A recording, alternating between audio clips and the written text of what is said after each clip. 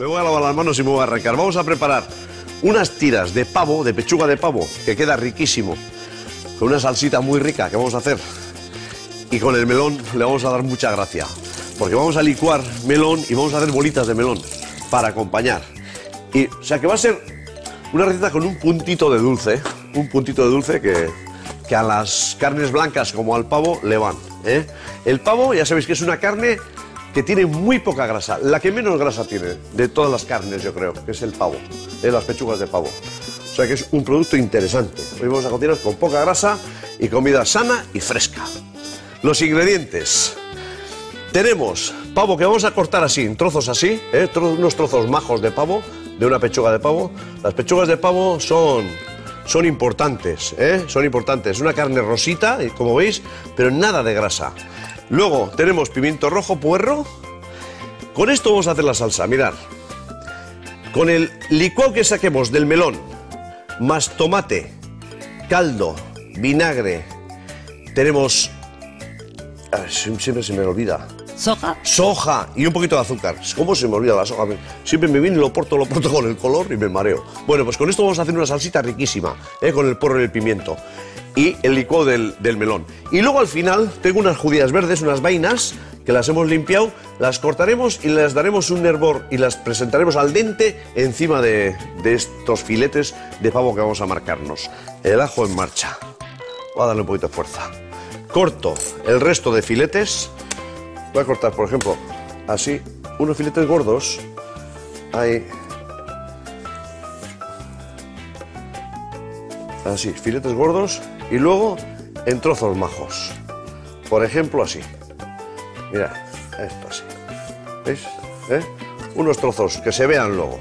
Sal. Y pimientita molida. Venga. El ajo dorado metemos las tiras de pavo. Vamos a meter las tiritas de pavo. Les vamos a dar aquí un dorado rápido y las sacamos a una fuente. Ahora lo que hacemos es poner los pimientos, mirad, ¿eh? tiras. ¿Veis? Hemos sacado la carne y la reservamos bien sellada y hacemos tiras de pimiento rojo. Un pimiento morrón, ¿eh? se hacen tiras así. Esto es muy sencillo y vais a ver qué aspecto va a sacar. Ahora ponemos también el puerro. Un puerrito. Esto a lavar. Vamos a ver. Y unos trozos así, como... ¿Veis? Como si fueran unos... ¡Ay! Como caramelos de esos de block. ¿Eh? Ese tamaño. También adentro. Mirad cómo está este melón, ¿eh? Es que salen siempre buenísimos. Quieto ahí. Yo cre- creo que así, así mismo. Sí. Voy a sacar las bolas. Primero saco las bolitas de melón y luego con el resto hago licuado. Y vais a verlo en un momento. Y el licuado también se lo añadiremos a la cazuela. Pero primero que pochen los pimientos y el puerro.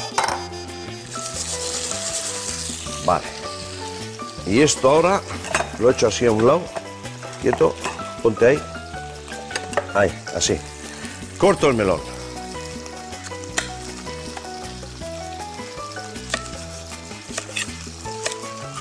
Metemos el melón por aquí arriba. Y vais a ver la cantidad de juguito que vamos a sacar aquí para hacer el guiso de hoy.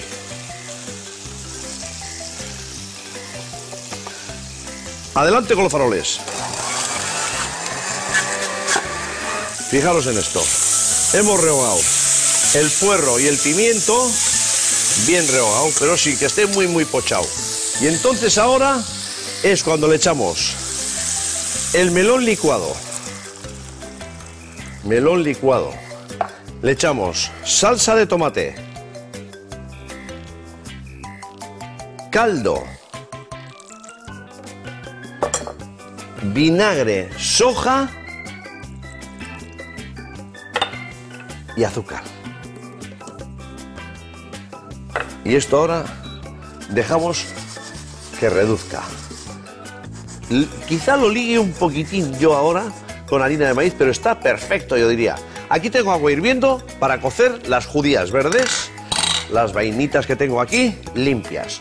Las voy a cortar por la mitad y en cinco minutos al dente. Así y así.